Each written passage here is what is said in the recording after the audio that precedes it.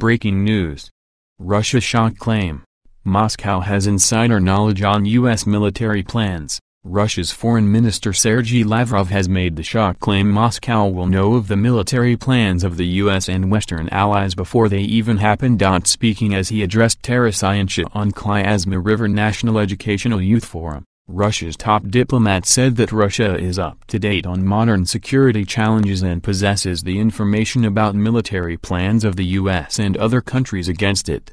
Mr. Lavrov said, Rest assured, we are aware of the schemes harbored by the militaries of both the U.S. and other Western countries against the Russian Federation.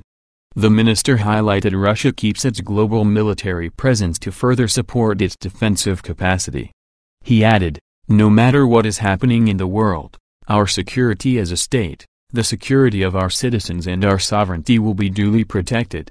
President Putin repeatedly stated it and I assure you that it is based on real material changes that are taking place in our country and our army.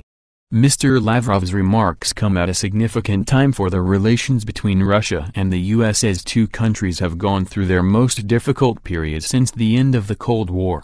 While President Donald Trump frequently praises President Putin, his top aides have demanded sanctions, prompting the Russian leader to intimidate the U.S. in response all while Special Counsel Robert Mueller is investigating claims that Russia interfered in the 2016 presidential election to help Trump. President Putin has denied any involvement in the meddling and the American firebrand offered conflicting views regarding the affair and the investigation.